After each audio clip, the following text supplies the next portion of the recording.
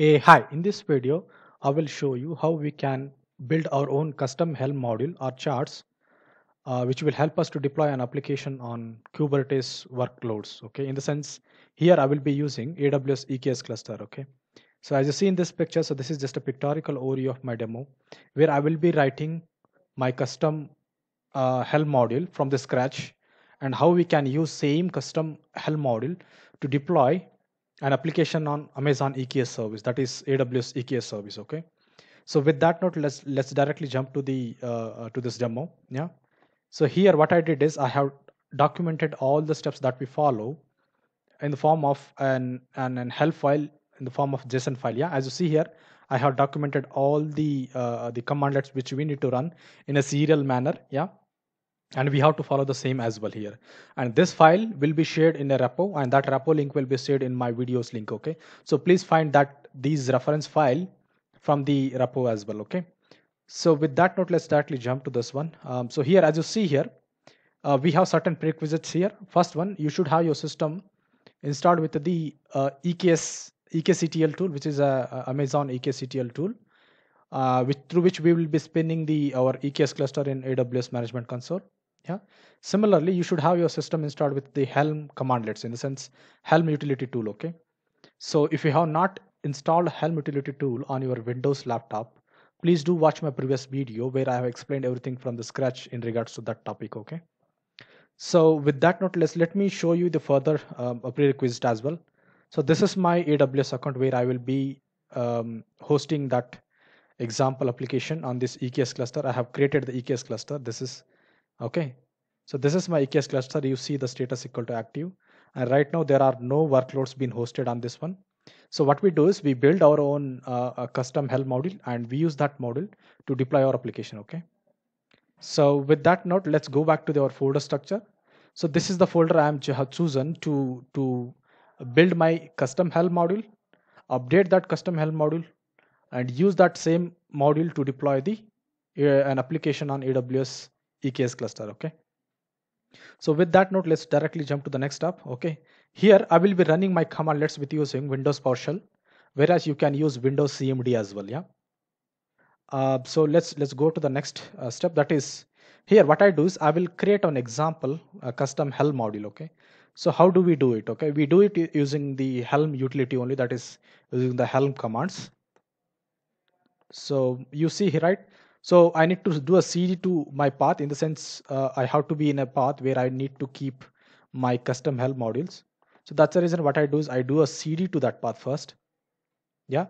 And once I'm I'm there to that path, what I do is I run this command to create the folder structure. Okay, so this is the command. So Helm create CKPOC Helm. Okay, so this is my example Helm module name. Okay, and I'm creating that folder under this this folder structure. Okay, let's see if that file got created, folder got created. You see here, the folder got created. Okay, so when we run this command, that is helm create, and our our our uh, custom helm module name. So then automatically it will create an, a folder, and within the folder, you will be having these um, files and folder structures as well. So let me quickly give you a brief about what are these files and what are these folders as well. Yeah right right underneath the this folder we see uh, one charts folder. Yeah. So this chart folder is meant to keep the uh, reference referencing charts or helm charts belonging to this application okay? And we have helm uh, we have the template folder as well. So under template folder so this is like a core template folder where we keep all our um, uh, YAML files, YAML template file, in the sense the YAML file which are related to our uh, application definitions, which includes application service, application deployment, application ingresses. Okay, so all these core files, core uh, template files will be kept under this folder. That's the reason you see there are the uh, pre-populated files. Okay, you see that yeah, service.yaml, service account.yaml, we have the hpa.yaml, deployment.yaml. Okay, so all these are are the core deployment files. Okay, so similarly, we have the test folder. In the sense, this folder again beneath the templates folder structure, this is meant for some testing purpose. Okay. So this is how the folder structure uh, looks like. And I need to tell you the one more thing. So here you see right right after the uh, main folder, we do have chart.yaml, values.yaml. So chart.yaml is meant for keeping the metadata of, of your custom Helm module. Okay. Yeah. So similarly, values.yaml file. So this values.yaml file is meant to keep the all required values or in general, like you can take it as a parameter file where we will keep all our parameter values. Yeah. So that's how the uh, uh, the uh, the the custom Helm module folder structure looks in like that. And the, finally, there is a one more file name called Helm ignore. As the namespace, this is meant to ignore certain properties within this Helm module. Okay. So this is how the folder structure gets created once we run this command. Okay. But in this demo, what I do is I have pre-created previously. I have already created certain required files of this folder. For example, I have uh, uh, created chart file. I have created values.file. And under the template file, I have created service, ingress, and deployments. Okay. So what I do is I, I delete all these folders and I keep only the required folder. Okay. So what I do is I don't need the charts because in this example, I'm just giving you a demo. That's the reason I have not used any referencing charts here. I will use my own application. That's the reason what I do is I delete these pre-created and we populated, uh, we populate here uh, with our own values. Okay. Our own um, files and folders. Yeah. So let me delete this. Similarly, um, uh, let me clean up this folder as well. Okay. So what we did is we cleaned up all the files and folder except templates. Okay. So now I have, as I said, like I have already created my own chart.yaml file, values.yaml file, and the deployment, ingress, and service YAML files. Okay. So let's copy this chart and value files. Make a note that you need to keep chart and values.yaml files within immediate of the Helm module folder. Okay. So that's the reason I'm keeping chart.yaml and values.yaml file here. Similarly, REST file. When I say REST file in the sense, it's deployment.yaml file, ingress.yaml file, and service.yaml file. Okay. So this file has to be copied directly um, into the template folder. Okay. So let me keep it here. Yeah. And that's all. Okay. So here, see, once we once we run this command, we have a folder structure. I'm not using that, but I'm just creating, uh, I'm just populating my own my own YAML files, my own template files. Okay. And we, yes, it is allowed. Okay. And, and probably you might get this question whether it is allowed. Yes, it is allowed. That's the reason I'm populating here. And now, um, now let let's let's quickly walk you through. Let me quickly walk you through these files, and and later we can see how we can use it. Yeah. First one, let me let me tell you about what is the value file value files look like. Okay. You see, this is the values.yaml file which I have already populated. So in this file, what I did is I have created certain um, key value pairs or, or kind of config maps. Okay, uh, you can say like a, we have the maps here. You see, this is the key and this is the value. In the sense, we have this is the parameter name and this is the parameter value. Yeah, and these values will be referenced in the template YAML files. Okay. Similarly, I have the deployment name, service name, ingress name, labels, match labels, selectors, containers, and annotations. Okay. So these are like direct key value names, but whereas we have something like this, which we call it as a map in the sense uh, this is the map and under the, under the map, map we have one key and one values. Okay. Similarly, here you have multiple key and values. Okay. So that's how the values.yaml file looks in. Let's go to the chart.yaml. Okay. So as I said, chart.yaml is nothing but like a, our metadata file or metadata file of our custom Helm module. Okay. That's the reason you see it contains name, name of our Helm module, description about Helm module, and the type of Helm module that is application Helm module, version and API version. Okay. That's what, that's all this data. That's all these are the data will be present in this chart.yaml. Similarly, let's go to the uh, uh, template folder under this one. Let us quickly go one by one. So let's see what is the uh, how our deployment.yaml file names. So before I walk you through this one, so let me tell you. So this is where actual our core uh, specification files will be put in here. Okay. So all these files are responsible for hosting our application in the AWS EKS cluster. Okay. That's uh, this is very important. But let me quickly walk you through this one. By default, custom Helm modules will refer the values under these YAML files from the values.yaml file. Okay.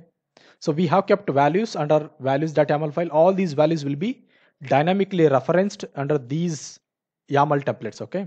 The, that's the reason you see these are the syntaxes. Okay. You see here first one i'm creating the namespace okay? You see the kind is being mentioned as a namespace one more uh, thing to note is that the kind data it should not be dynamic it should be static only. That's the reason you see kind is kind values are already been populated okay? Already been pre uh, already been hard coded yeah? Okay. So similarly now um, namespace name okay? So namespace name i am referencing from the values.yaml file. You see name namespace name okay and this is the value which gets dynamically populated when we deploy the or when we uh, deploy this custom YAML template okay? When we deploy this custom helm module okay?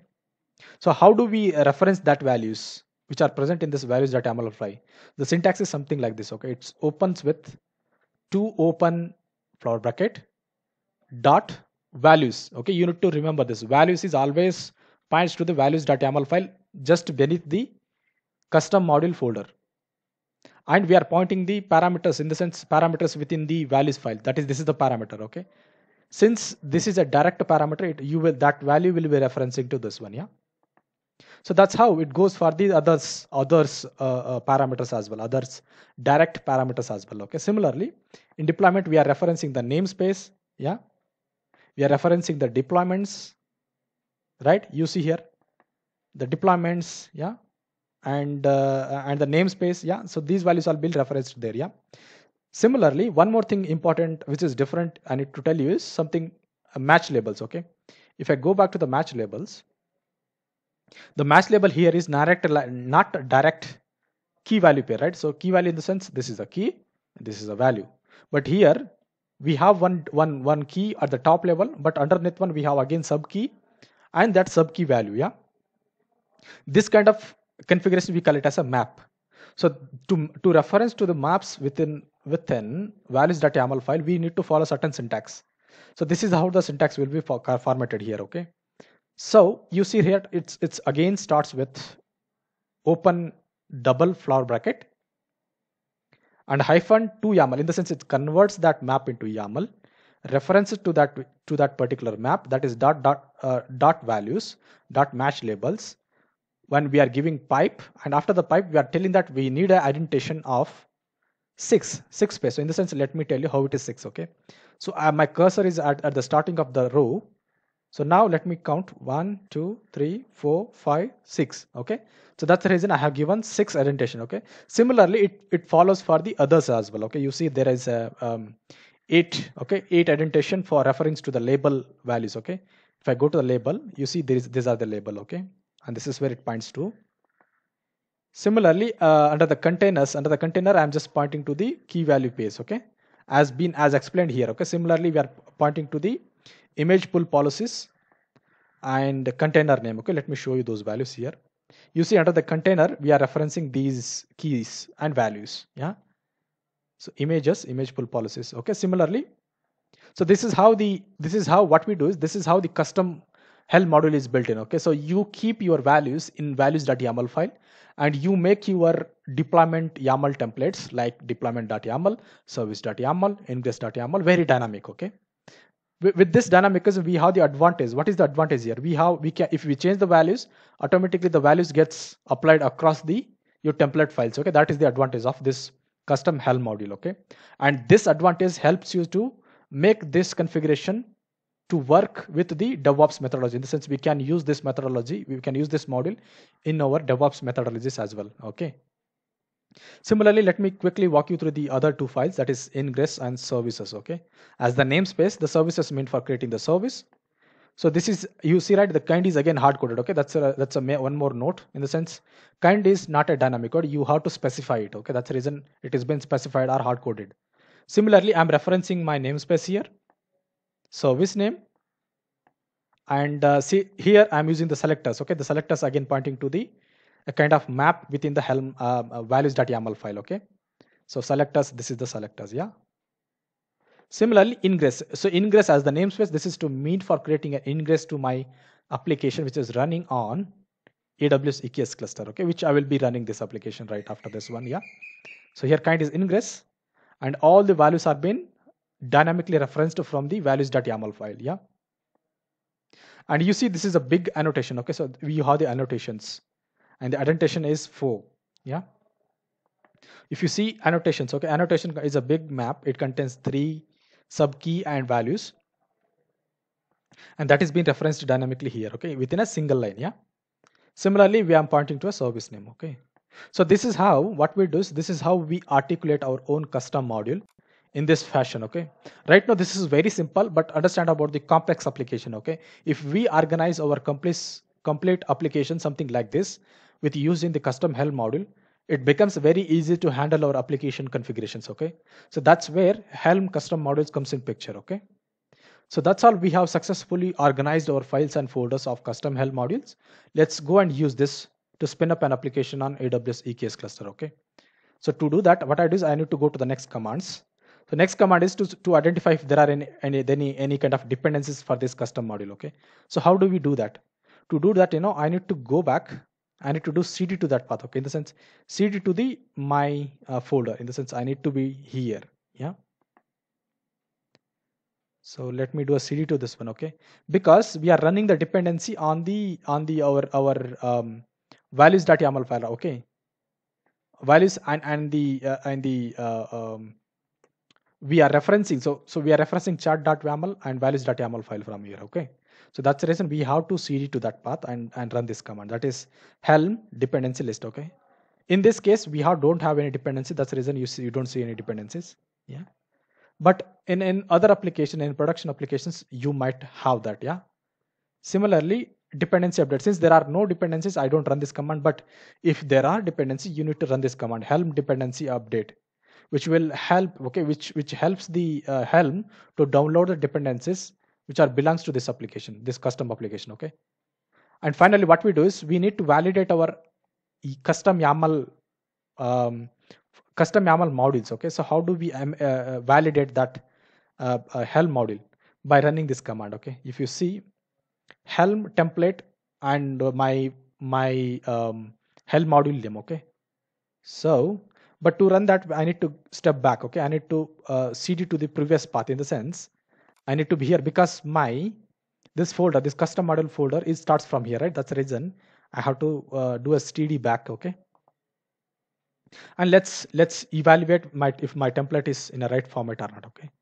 If you are getting something response something like this, yeah, then then that is a good sign that you your your um, your custom Helm module has been rightly placed. Okay, that's what this indication. Okay, so uh, before we go to the next command, let me quickly walk you through. So it, it does nothing but it will retrieve all the components present within the uh, custom Helm modules. Okay, you see, I'm creating a namespace. That's the reason it says it's creating a namespace. It also says that we are creating a service, right? And you see there are the sources also being shown. Okay, so you see this is the source. Okay, so at this source, it says that it is going to create one kind, in the sense one kind of one kind of uh, deployment so here deployment kind is itself is a deployment, yeah. Similarly, finally, we are creating an ingress. Okay, you see the source file is ingress.yaml file, and the kind is ingress, and all other respective, respective conf configurations are being populated. You see, right? See here, you need to note it here. Okay? When when I open those files, right? Let me take you YAML deployment.yaml file, service.yaml file. Here you don't see any values, right? All are being dynamically referenced. But when we do when we run the command, uh, when we run the command called template, okay, Helm template, then the, all the values are being dynamically populated here, right?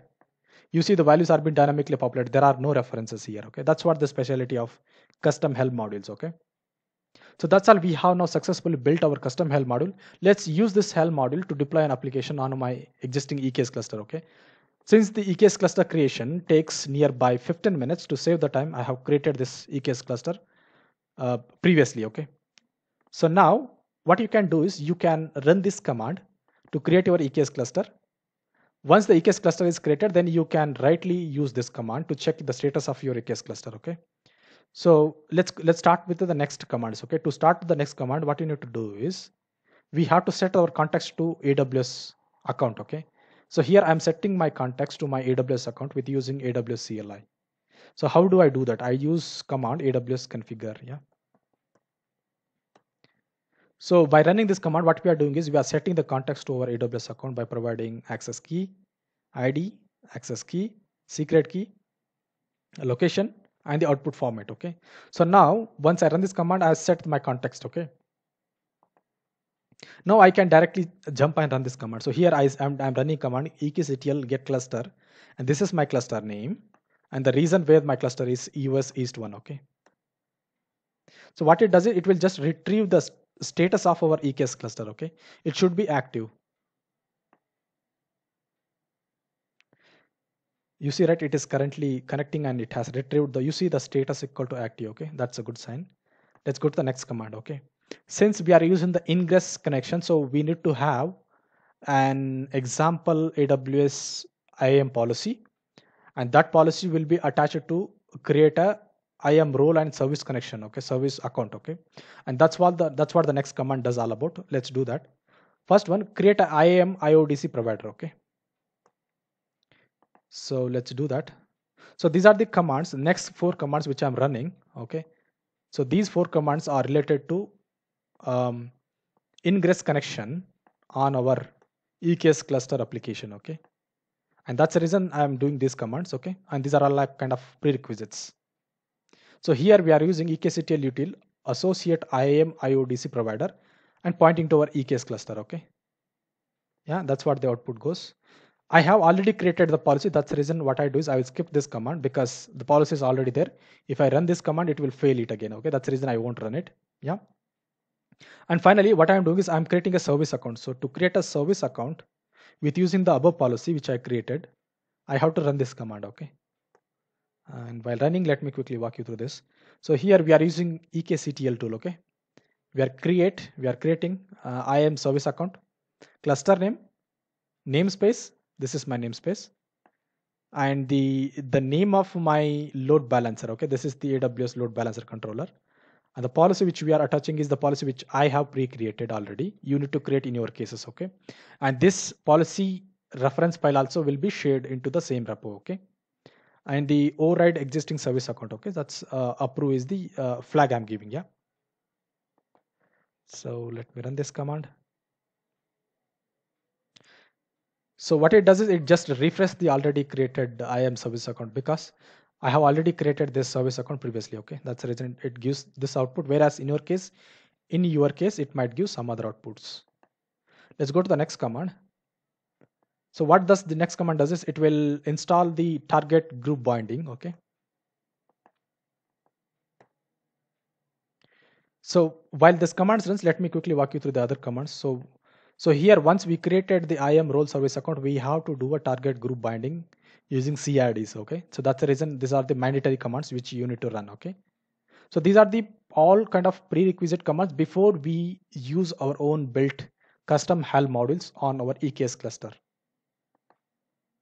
right so since it downloads something from the uh, uh, from the uh, from the github and it configures it will take certain times so please be have a patience here uh, while it runs let me go to the next commands. Right so after that one what we do is we run the command called uh, kubectl get crd then what we do is we update our existing local helm repo.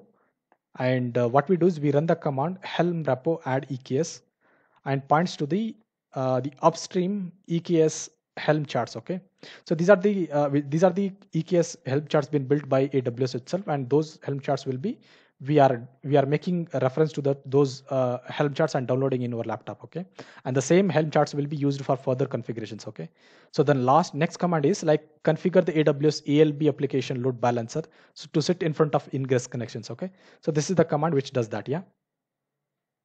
And finally, what we do is we run the command to check the uh, the status of our uh, AWS load balancer. Okay, kubectl uh, rollout status, and this is the command which does. Okay, it will roll out the status of the deployment. Yeah.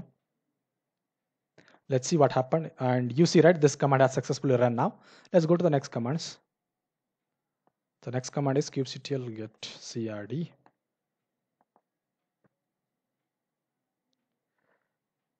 and yeah it has done successfully similarly let's go to the as i said so what we are doing is we are adding the repo uh, we are adding the helm uh, helm modules from the upstream okay so it says since it's already there it says it's it's exist okay let's go to the next command so next command is quite big uh, and in, indeed it is doing a, a, kind of configuring our AWS ELB. Yeah. So here what I do is Helm upgrade and this is the AWS load balancer and this is our EKS chart and uh, namespace is kube system and uh, you are setting the cluster name equal to the, our cluster name. Yeah. And service account creation equal to fall because which we already created. Then set. Okay. Set service account equal to the, this is my service account which i created above. And image tag equal to version 2 okay. Let's run this command.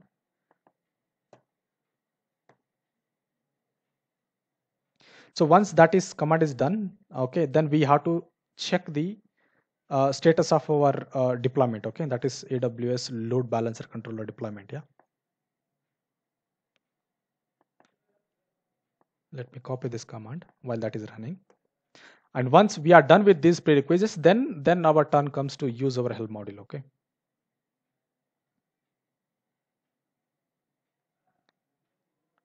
So let's wait for some more time since it takes some time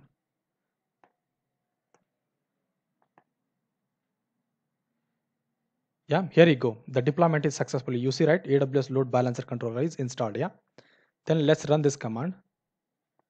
What it does okay we are using the kubectl here okay? And we are pointing to the namespace kube system and we are rolling out the status okay? Let's see what it does.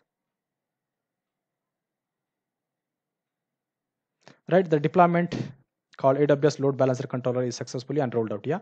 In the sense see till now what we do is we did the prerequisites which are needed to configure the ingress on our application okay till now we are just just doing the prerequisites of AWS EKS ingress configuration. Okay. Now let's go to the original command. Okay. So that this is where our actual task comes in picture. Okay. This is where our module will be used now. Okay. You see, right? I'm using the Helm install and this is my release name. Yeah. So I'm just telling that this is my channel name. Okay. CKPOC in the sense cloud quick POC hyphen Helm. That is the my release name and pointing to my custom module which I have just now built. A, okay. And that Helm module will help me to deploy an example application my on my EKS cluster. Okay. So let's see how it behaves. And these command commands we even we can run from the CI/CD. Okay. So that's the reason Helm module is is agnostic to a DevOps methodology of handling the AWS uh, EKS application or any kind of Kubernetes application versioning or any kind of maintenance. Okay, or any kind of management, ma lifecycle management of uh, Kubernetes lifecycle, uh, Kubernetes applications. Okay, you see, right? Bingo, right? We have successfully uh, deployed our custom Helm module on EKS cluster. Okay, yeah. See, we built from the scratch and we used that Helm model to deploy an application on EKS cluster. Now it is time to evaluate whether we have done right thing in the sense application is up and running or not. Yeah. So let's do that. What we need to do is we need to invoke the ingress configuration and check if your application is replying, I mean, responding to that ingress uh, request okay so before that we can see since we have applied the uh, or since we installed the helm release we need to, we can check if that has been updated into into that uh, into the uh, into the cluster okay? You see right? The deployment is deployed. The status is deployed okay? So that's what in the sense this this output will can be retrieved from here yeah? Now what we do is we retrieve the egress uh, uh, egress connection FQDN and try to access it from the browser. And our application should respond to that, okay? So as of now, I have, I have copied the wrong output. So let me copy it again. We can ignore that. So till now, our application is successfully deployed. Let's let's do the next command. That is to get the our application FQDN. What it does is it just queries the ingress, okay, and it will retrieve the address. Okay, this is the address of my uh, ingress connection okay or I can retrieve that from the some other command that is something different command it will actually get me the get the ingress URL okay